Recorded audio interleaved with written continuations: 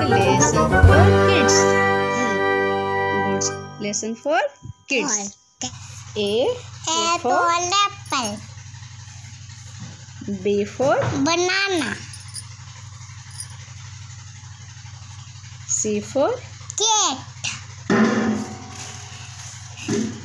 D for Doll. E for ear. Eel. F for flower. Hubble. Hubble. G for guava. G for Guava. H for house. House. गलती हो गया I for ice cream. J for jug K for king. King L for light. Light M for mango. Mango इटे N for nest. Mango बोल के ई बोले mango O for orange. All orange इटे orange P for parrot.